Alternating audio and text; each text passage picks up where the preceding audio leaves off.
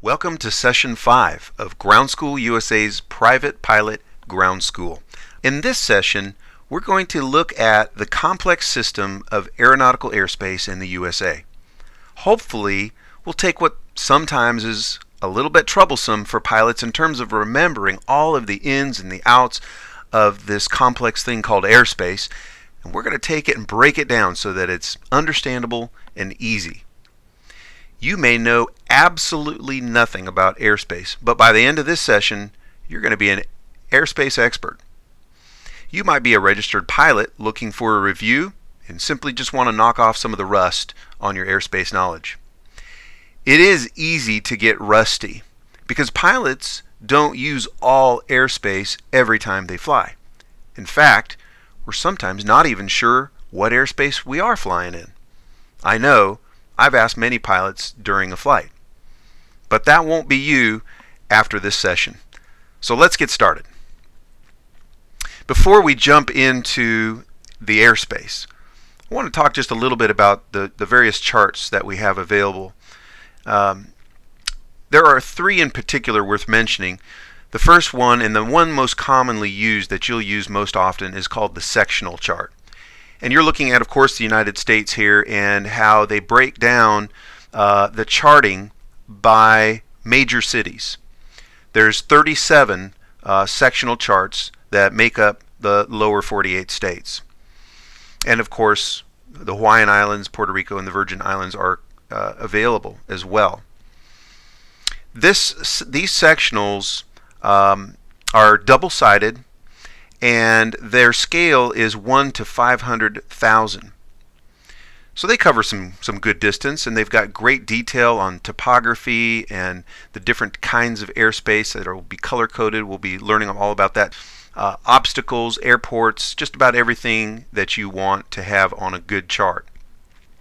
Then there are what's called the terminal area charts or TAC, TAC, and they're in select areas that are the busiest of the busiest areas and they're demonstrated here uh, by these little uh, uh, gray boxes that we see throughout.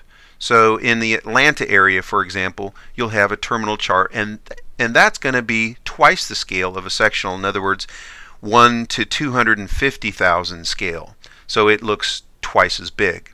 And in those complex areas, uh, it's nice to have that better detail. Going the other way is the WAC, or the World Aeronautical Chart. That scale is 1 to 1 million. So if you're planning a long trip and you want to get kind of the bird's eye perspective of your of your trip and your charting and your planning, a WAC or a World Aeronautical Chart is a great thing to use. This is a example of a sectional chart.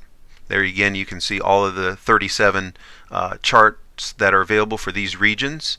We're looking here at the Los Angeles sectional chart. Uh, something important worth pointing out is the, these are updated. Typically, uh, every six to seven months in some places, like Alaska, I believe it's about five months. So you do need to pay attention to the uh, the dates, and the dates will be listed up here from this date to this date. So we're going to take a look at airspace. Now the FAA breaks up airspace in two kind of major categories or areas. The first one is class airspace, and that gets an alphabetic designation like A, B, C, and so on. And then there's special use airspace. This would be like military practice areas or areas that are restricted. So we're going to look at both today, but first we're going to start with the class airspace system, A through G. Just giving us a little overview. Um, this is the airspace uh, a through G, except for F. there is no F, not in the United States anyway. And if we start very simply, and I don't want you to get overwhelmed with this because I'm going to move fairly quickly, but this is just an overview. We're going to take each one of these air, class airspace systems apart and unpack them for you. But just as a way of introduction, look at the uh, top one here. We can see Class A or Alpha is a very high airspace. It starts at 18,000 feet. Now that's MSL, and that stands for mean sea level, so 18,000 feet above the sea, and it extends up as high as flight level 60,000. Once we get above 18,000, we put things in terms of what's called flight levels.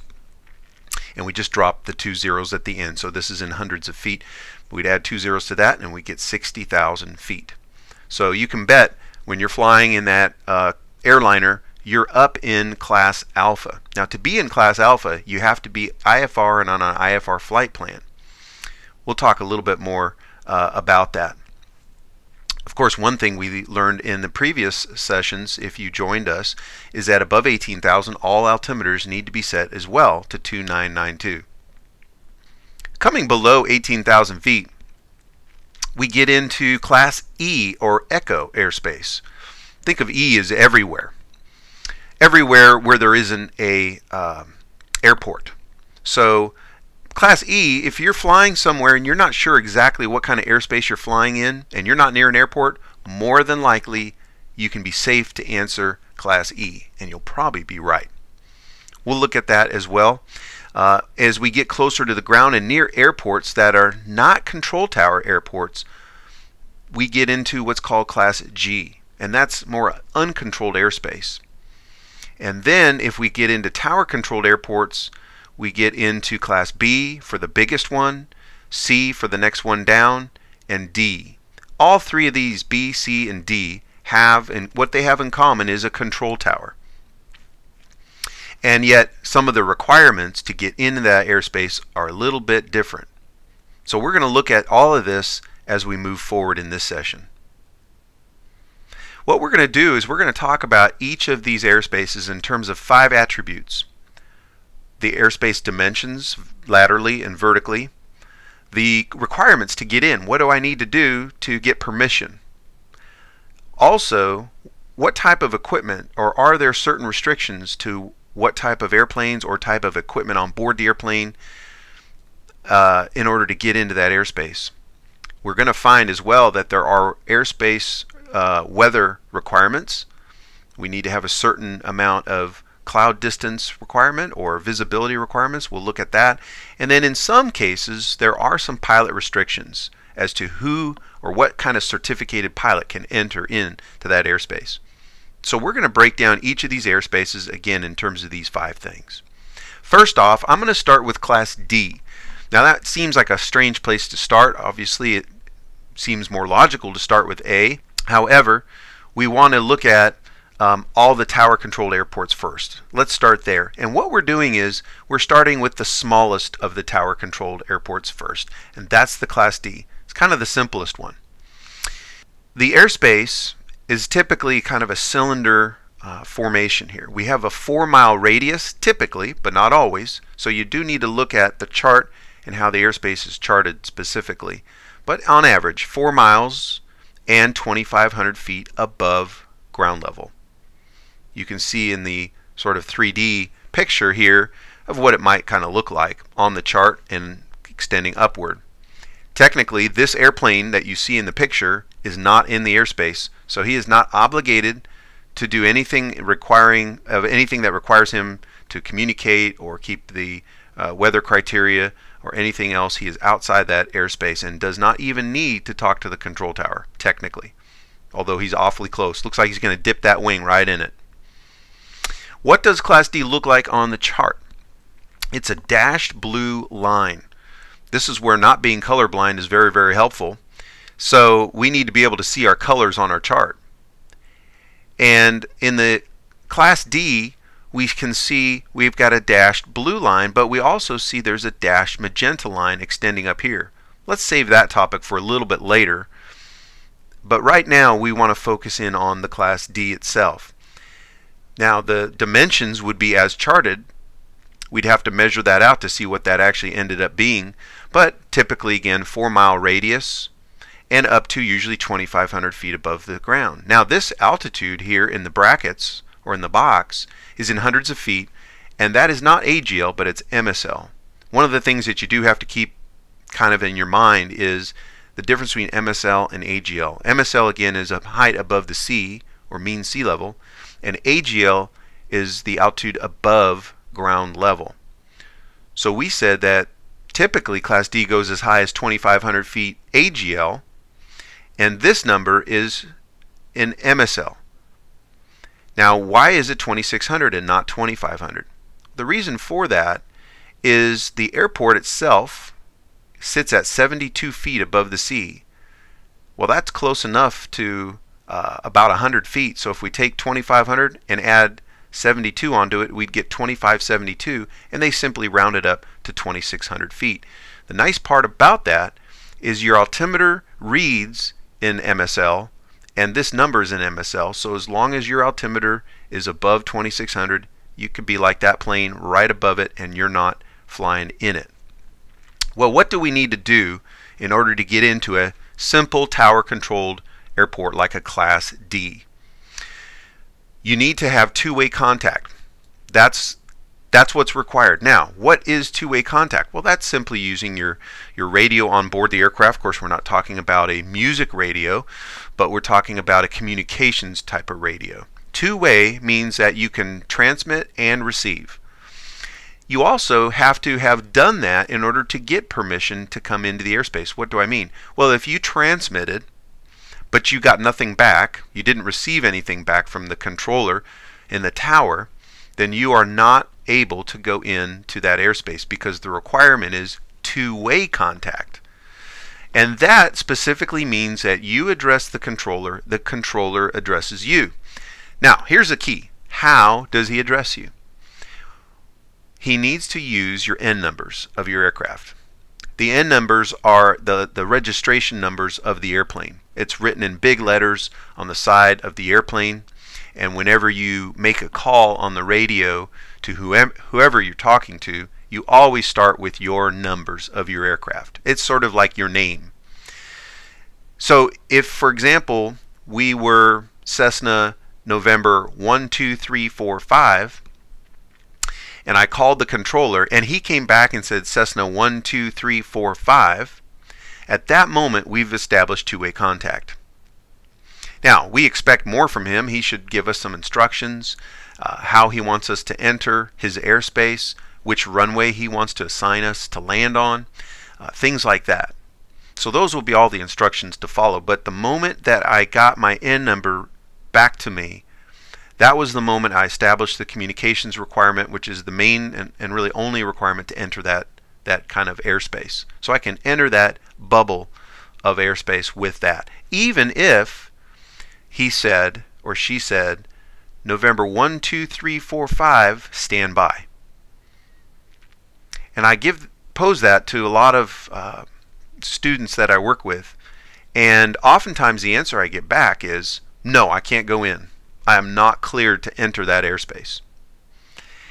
And the understanding, though, is that once they have given us the N number, we have established two-way contact. We can go in, even if they say standby.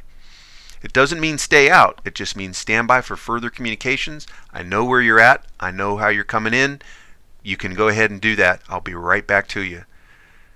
Okay, now if the controller said aircraft calling in stand by. Now he's used a generic term, the word aircraft. He has not addressed my N numbers, and I am not good to enter that airspace. It's important to have a good understanding of two-way contact. That frequency will be on the chart. It'll be on various resources uh, that will uh, tell you all about the airport information and the frequency to reach the control tower on. Of course, in order for this to happen, you have to have a two-way radio. Uh, at minimum, you need to be a student pilot. So there is no really restrictions here on, on type of pilot requirements. Uh, student pilot, as long as you got a student pilot certificate, and I would also add that you would need to be signed off from your instructor to go to that airport. Uh, assuming this is not your home base, then um, you're good to go. Weather requirements, we typically talk, when we talk about weather requirements, we talk about visibility that you can see forward and how far away from clouds you need to, to be or remain.